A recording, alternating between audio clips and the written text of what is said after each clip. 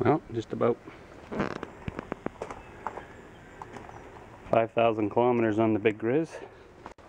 Figure should have done it already, but it's time to pop the cover off the CVT clutch and give her a cleaning. Pretty sure you're supposed to do it every year, but it's been working great, so we're gonna give it a try and see how it goes.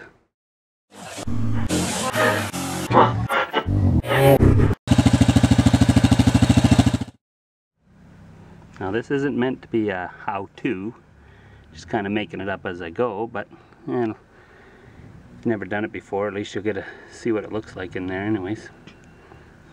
To help you out. So in order to get at the clutches, we will be removing the cover, floorboards, and might have to take piece of the bodywork off, but we'll see. Bolts for the cover, there's two here. Probably can't see in there right now, but all the way around there like that. Okay, so you don't have to take those two bolts off on the foot peg. She just comes off. She's dirty in there without taking them off.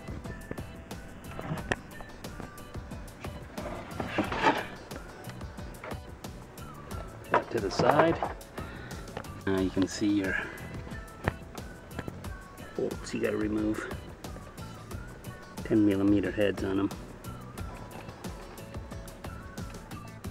Okay, I took the side panel off just so you can see the bolts better and give me more room and stuff. You probably could have did it with it on there, but this will make it easier.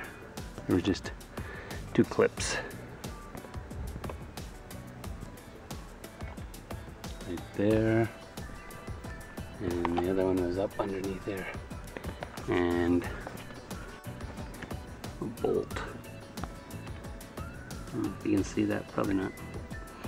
And off comes the side cover. So there you have it. Got her off. There's one hiding way underneath there. You don't want to forget that one. And everything looks really good in there. It hardly even looks dirty, but we're in there now. We're going to clean her off. Belt looks good, but I can doesn't look like much wear on it, but I can see there is a bit of cracking I don't know if that'll show on there. Nope. There's a bit of cracking in between the cogs, but I've got a new one to put on there anyways. 5,000 kilometers on a belt. Can't complain too much about that. That'll make a good spare. So now we have to take, think they call that the, is it the carrier? I don't know, four bolts anyways. One up there, there, under in there somewhere. Another one here holds the end of the clutch up. Take those off now. I got that cover off. You can see there's a little bushing in there or bearing, whatever you want to call it, that supports the end of the shaft there. Want to keep that clean, put a little grease on it after. Now I use two of the bolts. If you screw them in to the place on the secondary clutch. It'll spread the sheaves open and then it makes your belt loose and then once we take off the big nut, 22 millimeter nut, I'm about to get the belt off. Well, I got the nut off. Some people don't recommend it, but I use my little 18 volt impact gun. Zipped her off. If you're gonna just use a regular ratchet or whatever then you would have to have some way of holding your clutch either that or you can take a nylon tie strap and wrap it around there hook it to your foot peg there and tighten it up. That'll hold it. That's what I'm gonna have to do when I put it back on and torque it. Another thing I should mention now that you can see it good is when you put it back together you want to make sure that you can see the spline sticking through there otherwise you could strip everything out if you don't have those there that something's not put together right. Mine don't stick out all that far because I actually have a one and a half millimeter shim, but you can still see them there. So now, you want to keep your fingers pushing in on that, and then you can take this clutch right off there. Pretty tricky doing this with one hand. I'll have to stop it because I got to push the brake pedal down. Well, it was a little bit tricky, but I got it off. To hold the brake pedal down there in order to get enough room to go by it.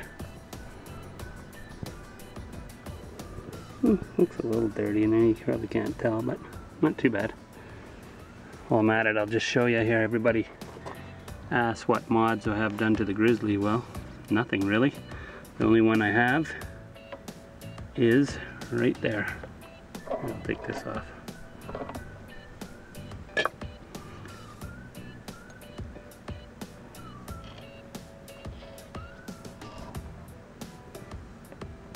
These two washers.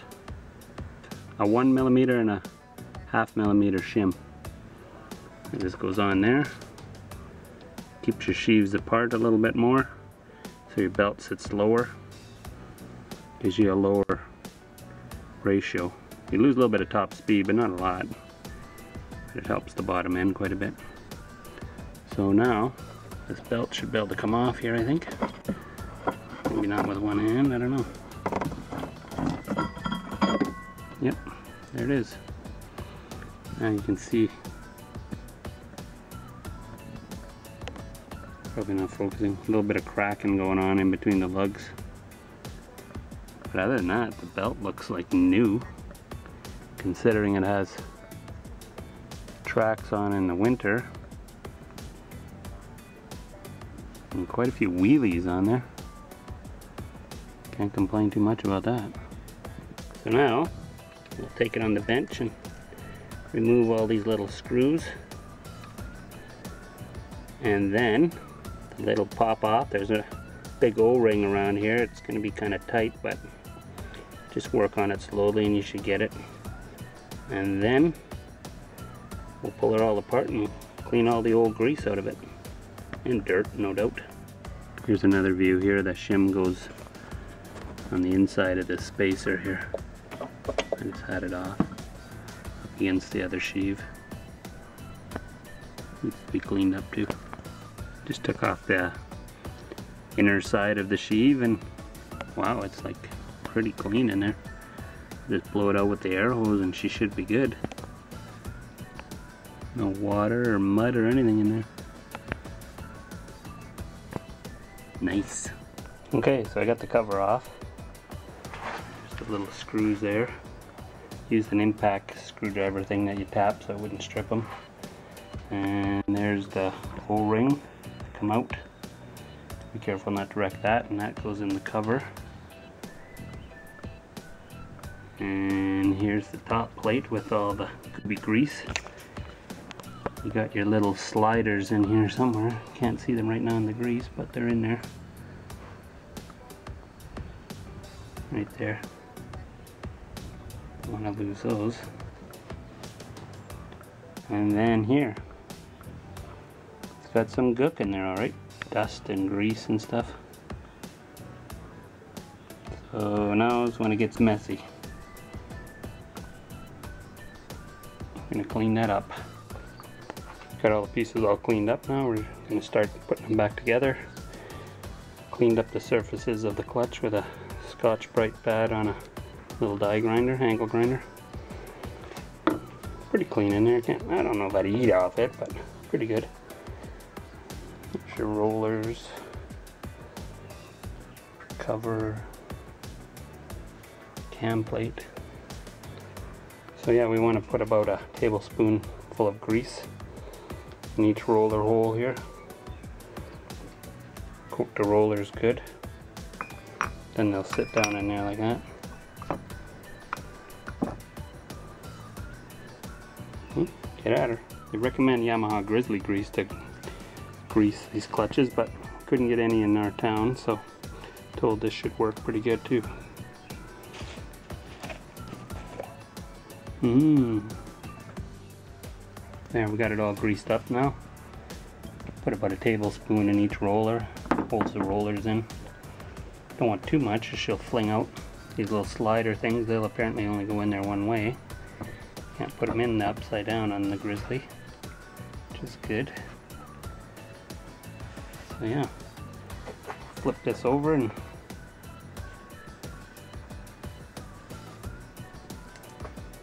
put her on there. There you have it. The cover on and ready to put her back together. Well, here we are, day two. We're putting her back together. I already have most of it on there. Uh, put the inner sheave on. And my shim. Got a picture of it right here. And the spacer. Then the outer sheave. And you don't want to forget, make sure you have splines sticking out through your cam plate before you tighten it up or else something's not right. Take it off and check it. Uh, you don't have a tool to hold it, you can wrap a tie strap around there to your foot peg. That'll keep it from turning and then get your torque wrench on there and you torque it to 100 foot-pounds. I think it's 72 foot-pounds for the 450 though and she should be good. Take the bolts out that you had in your back clutch holding it apart and once I get this off I'll spin that backwards and the belt will come up but I ended up putting on a new belt seeing we had one here the old one I think still had lots of life left in it but we'll keep it for a spare I also want to make sure you get some grease on the end of the shaft there that's going to go into the little bearing bushing thingamajiggy on the end of the carrier. I think that's what they call it, a carrier. Keep that greased. And we'll put that back on and carry on to the next step. The longer bolts that you have are used to keep the carrier in place. One, two, three, and four. And the shorter bolts, one on the right, we'll go for the cover. I'm going to torque those bolts and the cover bolts 7.2 foot-pounds.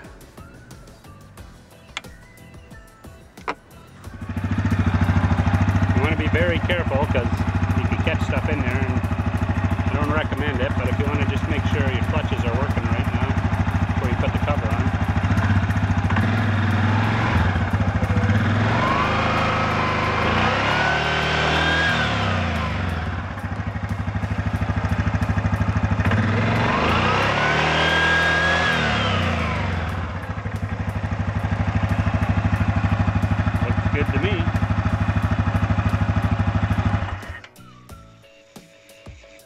just seem to be moving smoothly and everything is working good. Put the cover on now. So there you go, we got her all buttoned up. The cover on, bolts torqued. Bolts for the floorboards on and torqued. Bolts for the flat part of the fender or floorboard, whatever you want to call it. They're on that's going to conclude it, I think. Like I said before, this is not meant as a how-to, it's just how I've done it. This is my first time doing it, so I probably made some mistakes, but everything seemed to work out okay. It wasn't really a hard job, just a greasy job cleaning up the old clutch. The old grease out of the clutch, I guess it's not an old clutch. So yeah, hopefully that'll help someone out there wanting to tackle the job on their own. Going to conclude it for this video. Hope you enjoyed it. We'll see you next time.